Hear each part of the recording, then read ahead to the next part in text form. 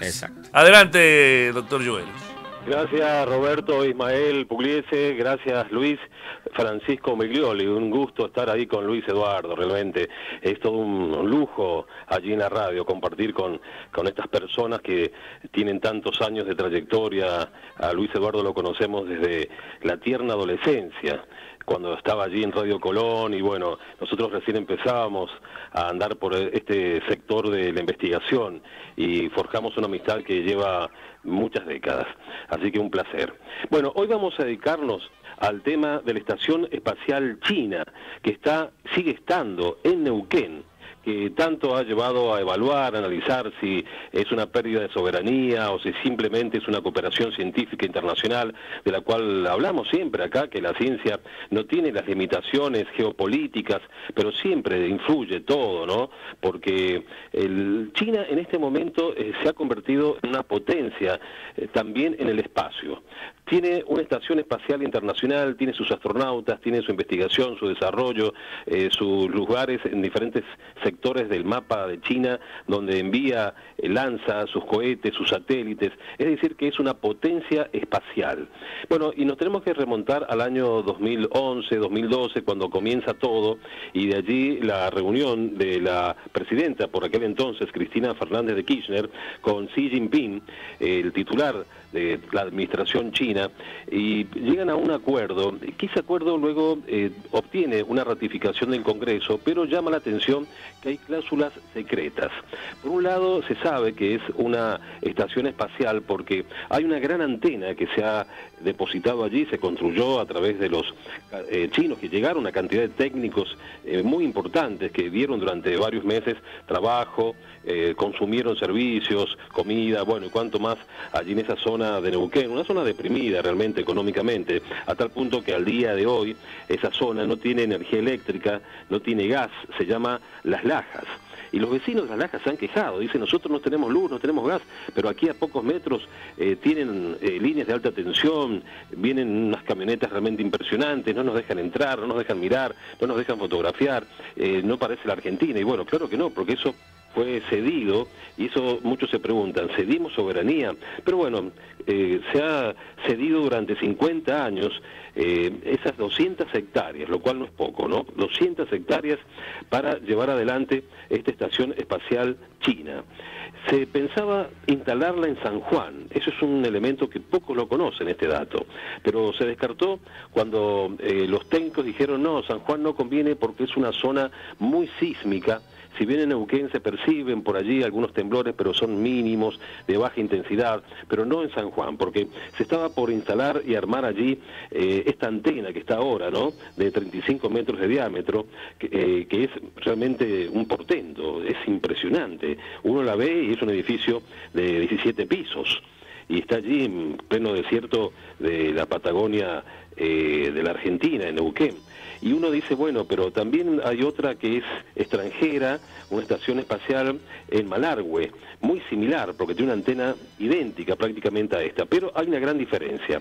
Mientras la estación espacial china es administrada por el Ministerio de Defensa de China, lo que está en Malargüe, en Mendoza, está administrada por la ESA, que es la Agencia Espacial Europea, que es eh, una empresa eh, privada, pero con capitales de varios países europeos, con fines estrictamente pacíficos, no militares y que se dedican a la investigación espacial.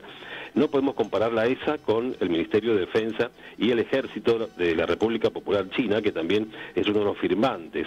Y si uno quiere incorporarse, ir, ingresar, no puede. Ya hemos visto una cantidad de documentales, coberturas periodísticas, de periodistas muy conocidos, el mismo Jorge Lanata, que intentó entrar a través de su programa, recordamos hace seis años atrás, y bueno, no lo pudo hacer porque eh, estaban las personas del ejército chino que le impidieron la entrada, donde ya flameaba dentro allí la bandera china, y lo que decía en ese momento, en ese informe, eh, Jorge Lanata, es que para ingresar allí hay que tener el permiso de la embajada china en Buenos Aires, cosa que ellos tramitaron pero que no les fue concedida. Por lo tanto, uno se pregunta si dentro de lo que es la cooperación científica internacional eh, deben existir cláusulas secretas, ¿no? ¿Por qué existen cláusulas secretas si es cooperación científica, o esto está mezclado con las cuestiones estratégicas militares eh, de, China. Sabemos que hay un alineamiento actual del actual gobierno con China en todo, a tal punto que hasta eh, la moneda china se va a utilizar para pagar parte de nuestra deuda externa con el Fondo Monetario Internacional, pero eh, eso es harina de otro costal. Lo que sí interesa acá, que en esta zona llamada Baja del departamento Loncopué, en Neuquén, está esta base, que es una base espacial china, donde el argumento es que se va a monitorear todo lo que es la actividad en el Chance 4, que es una nave muy importante que tiene China, y que tienen proyectos para llegar a la Luna, y a Marte. Ya a la Luna han llegado los chinos. Esto es algo que se debe saber, pocos lo conocen, pocos se informa, pero los chinos ya tienen un desarrollo, como decíamos, a nivel eh, muy parecido a los Estados Unidos en materia espacial. Los técnicos que están allí en esta base espacial en Neuquén son todos chinos, ¿no? porque eso que se dijo en algún momento, que se iba a dar trabajo a la gente deprimida económicamente de la zona de Neuquén, del sur de Argentina, no ha sido así todos los técnicos, sin excepción, son chinos, ¿no? Y se ocuparon en su momento mil puestos de trabajo para levantar las instalaciones. Y allí sí trabajaron algunos argentinos, pero cuando se terminó de levantar todas las instalaciones, que son muy modernas, eh, bueno, terminaron su trabajo y se fueron de ese límite marcado por alambres de púa, que son bastante extensos y largos, altos. Bueno, realmente es imposible ingresar allí porque hay cámaras de televisión a lo largo y a lo ancho de todo este perímetro que son 200 hectáreas, lo cual no es poco. Las actividades comenzaron en febrero de 2017 y el día de hoy tiene una actividad realmente intensa esta estación espacial china. Los críticos dicen que esto es peligroso para la Argentina porque el día de mañana se puede llegar a establecer algún tipo de vínculo entre nuestro país y algún conflicto que pueda tener China con otro país debido a que se pueden hacer seguimientos no solamente de satélites de comunicación y de naves espaciales, sino también de satélites destinados a fines militares. Eh, haber también seguimientos de drones que ya están muy cerca eh, del espacio, de la estratosfera, y pueden ser militares, o también puede ser atacada esa estación espacial internacional que está en suelo argentino, pero que como decíamos es como si fuese parte de la embajada china en nuestro país porque tiene prácticamente eh, la misma metodología. Nadie puede ingresar salvo una autorización expresa de las autoridades, las máximas autoridades de China en la Argentina. Eh, hay que contar con esa autorización de la embajada y esto realmente es complicado. Vamos a ver cómo sigue porque no hay información un elemento que se ha criticado de esta estación espacial china es que no brinda información técnica, científica sobre las actividades. Si bien dentro del acuerdo que fue aprobado por el Congreso, que eso también hay que decirlo, el Congreso lo aprobó, pero antes de que fuese aprobado ya empezaron las construcciones. Así fue algo realmente extraño. Eh, muchos meses antes de tener la aprobación legislativa, parlamentaria, ya se había comenzado a construir esa estación espacial como si fuese ya eh, seguro, confirmado, ratificado, todo lo que iba a pasar por el Congreso. Pero bueno, luego fue aprobado. En la época de la presidencia de Macri, de Mauricio Macri, se le agregó un anexo a este acuerdo que eh, esboza que tiene que ser utilizada esta estación espacial china exclusivamente para uso científico y no militar. Pero bueno, sabemos que en la práctica no nos vamos a dar cuenta, no vamos a saber nunca si realmente se utiliza para fines eh, dobles, científicos y militares, porque por allí están muy mezclados. Los científicos se usan muchas veces para objetivos militares, y si no, bueno, nos queda ver la película Oppenheimer, nada más que tanto eh, se está debatiendo, analizando, y puede ser aplicado también en la actualidad, eh, todo lo que es la cuestión estratégica, militar y la científica. Ustedes se imaginan lo que es, eh, con lo que fue el proyecto Manhattan, que fue organizado, ideado para atacar dos ciudades japonesas con los mejores científicos, los mejores físicos de esa época. Allí la ciencia, y muchos dicen esto, lamentablemente, que la ciencia cuando más progresa es con cuestiones armamentísticas, militares, en las épocas de guerra, es cuando más avanza la ciencia, por lo menos a nivel de las energías, a nivel de las observaciones y también a nivel de los ataques que se pueden realizar cada vez en forma más certera, más mortal, eh, por eh, la eficiencia que tienen los físicos, sobre todo en lo que es aprovechar eh, la física física cuántica y también mezclado con la física de la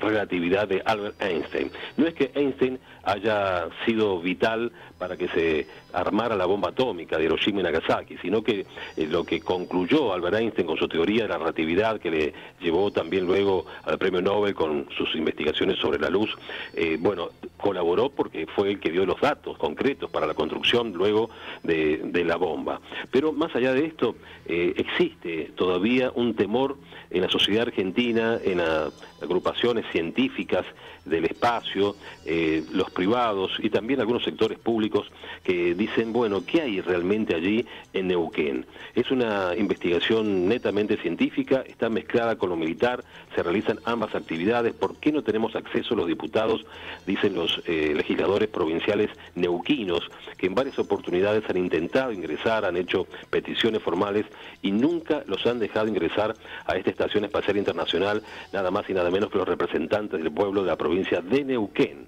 que eh, ya esto forma parte de la historia ¿no? científica de ese lugar. No han podido con la soberanía china demarcada en ese lugar. Mientras que los vecinos de las lajas se quejan por no tener luz ni gas, mientras ven pasar cantidad de aparatos, camiones eh, de última generación, camionetas, eh, mucha gente de China que llega a ese lugar que es muy moderno y bueno, parece surrealista el paisaje. Por, por un lado está esta construcción que es modernísima para la investigación espacial y a escasos metros hay poblaciones que no tienen ni siquiera energía eléctrica. Bueno, este es el tema que hemos querido traer en el día de hoy, porque no todo es color de rosa en la ciencia. Siempre hay cuestiones para analizar, para debatir. El tema del espacial china es un elemento a tener en cuenta. Veamos qué puede llegar a ocurrir en un próximo gobierno, si esto va a ser ratificado. Cuando ya hay un acuerdo, un tratado, es muy difícil que se deje sin efecto porque está firmado por presidentes en forma democrática y con intervención del Parlamento argentino. Por lo tanto, esto tiene que esperarse ya 45 eh, años más, han pasado 5 años nada más eh, de la firma de este acuerdo. Por lo tanto, habrá que esperar 45 años para que la Argentina vuelva a recuperar ese lugar. Si bien se le ha dado a nuestro país un porcentaje mínimo de uso de este aparato, de esta antena, del 10% para las universidades que están allí muy cerca, pero eh, se desconoce que se haya accedido alguna vez por parte de estas universidades como que se desconoce también las cláusulas secretas que siguen vigentes. Nadie conoce de qué se trata y por allí se sospecha que pueden haber algunos elementos militares castrenses relacionados a este desarrollo científico allí en eh, la Patagonia Argentina, en la provincia de Neuquén. Bueno, este ha sido nuestro comentario. Mañana nos vamos a reencontrar nuevamente con otro encuentro con la ciencia aquí en esta columna diaria en Radio La Red de Medios. Hasta mañana.